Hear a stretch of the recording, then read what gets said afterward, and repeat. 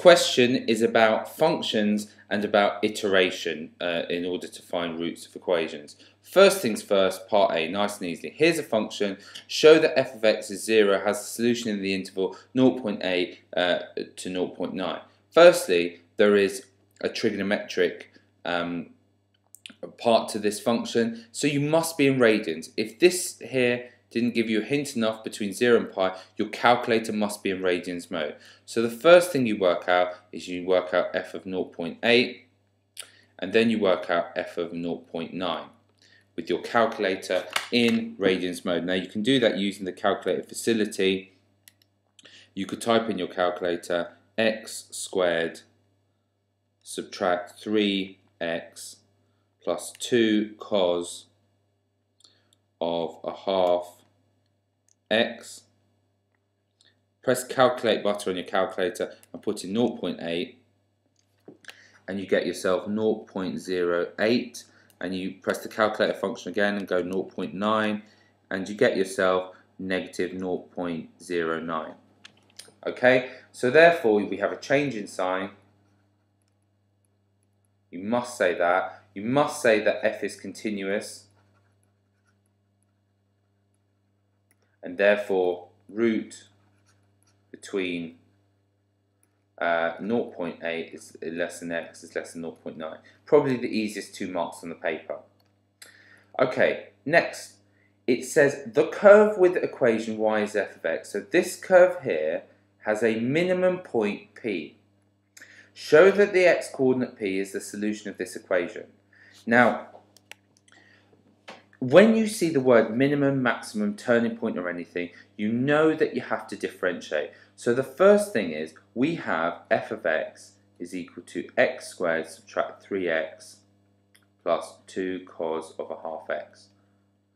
In order to uh, find a minimum, you have to differentiate first. Do not go ahead and make it equal 0 and so on. Firstly, state for a mark what the derivative is. That would be 2x subtract 3, and differentiating this, you differentiate the inside, which would be a half. 2 times a half is 1. The differential of course is negative sine, so this would be negative sine of a half x. Give yourself a chance, and you're going to need this later, to write this down. Then you have to say what you're doing. At a minimum, you can't just start sticking zeros in everywhere. You have to say at a minimum, f dash of x is equal to 0 tell the examiner what you're doing. So solve 0 is equal to 2x subtract 3 subtract sine of a half x. And now we're just going to rearrange this to get it looking in this form. Okay, simple as that. So let's just um, add th 3 plus sine half x to both side, sides. We would get that 2x is equal to 3 plus sine half x and then dividing both sides by 2, I would get x is 3 plus sine half x over x, over 2, sorry. Now, just be, be very careful to think right now. We've got our four marks easily. Just think what this is going to do. This, if we're going to use it for iteration later, is going to find for us the x value of the minimum. That is the same thing as finding the root of this equation finding the root of f dash x is equal to 0. We are no longer dealing with f of x. We are now finding the root of f dash x is 0 because the root of f dash x is equal to 0 is the x coordinate of the minimum. So when we're doing this later, we have to be careful to substitute in the right thing. And to help us do that, if we lay our working out and tell the examiner what we're doing at each stage, for example, write down our f dash x before we go ahead and try and solve it, then it's going to make our life a hell of a lot easier to decide where to substitute back into. So part C, use the iteration formula to find x1, x2 and x3. On your calculator, type 2 equals. Then it is stored in the ans function and on your calculator then you would type in uh, 3 plus sine of a half ans over 2 you would simply type that in your calculator with your calculator in radians mode, don't forget. So 3 plus sine of a half times ans over 2.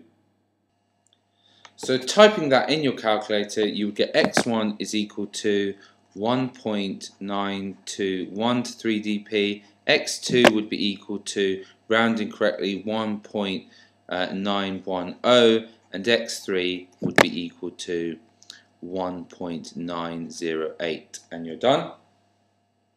Finally, part C, by choosing a suitable inter interval, show the x-coordinate is that to 4dp.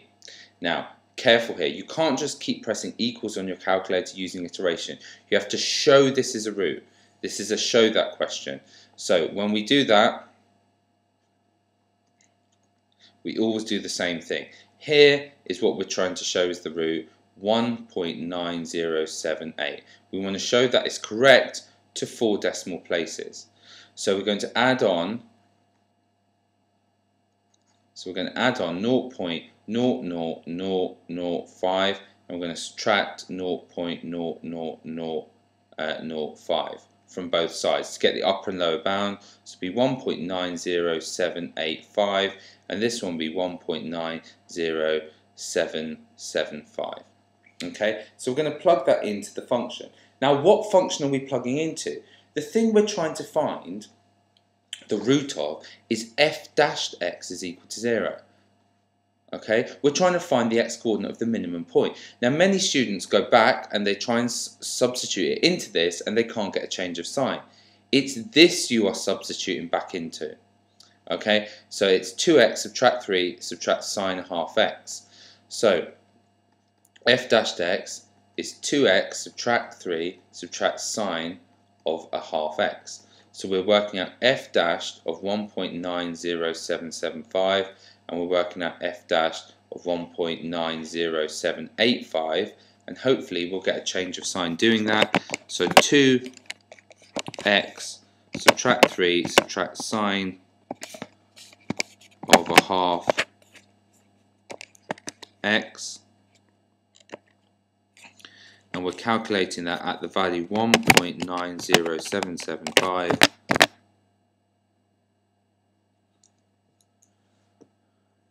we get ourselves a negative number and we calculate that at 1.90785 and we get ourselves a positive number. You write those numbers down, whatever they turn out to be. Therefore, change of sign